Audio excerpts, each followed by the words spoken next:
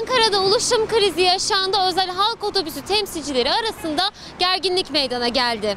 Gerginlik sonrası 146 halk otobüsü sahibi bir saatliğine seferlerini iptal etti. Konuyla ilgili soruşturma başlatıldı. Bu bir hak arayışı. Odaya bağlı esnaflar bize neden sahip çıkmıyor diye sordu. Pandemi sürecinde zarar ettiğimiz halde otobüslerimiz seferlerine devam etmektedir. Zor bir dönemden geçiyoruz. Esnafımız ciddi şekilde zarar ediyor. Bizim esnafımızın Sayın Mansur Yavaş ve Ankara Büyükşehir Belediyesi ile ilgili bir sorunu yoktur. Tek beklentimiz zarar ve mağduriyetin giderilmesidir. Mağdur durumdayız.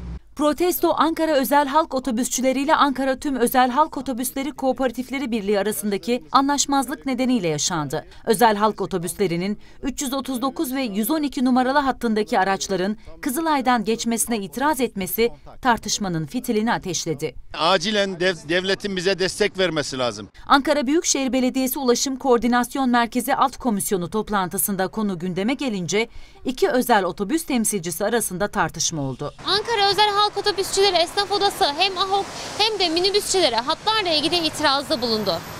Ardından HAHOK ve ÖHO'ya üye olan bir grup şoför, ÖHO Başkanı Ercan Soydaş'ın haklarını aramadığı gerekçesiyle yumurtalı protesto gerçekleştirdi. Şoförler odanın duvarına yumurta attı.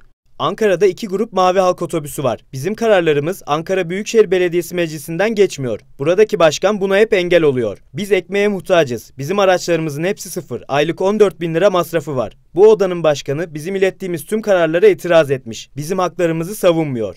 Bunlara bir çare. Ankara Tüm Özel Halk Otobüsleri Kooperatifleri Birliği de gerginlik nedeniyle 146 aracını seferden çekti. Eylem bir saatin sonunda sona erdi. EGO Genel Müdürlüğü de hatların çekilmesi üzerine yasal işlem başlatıldığını duyurdu. Hatlarda ring servisleri başlatıldı.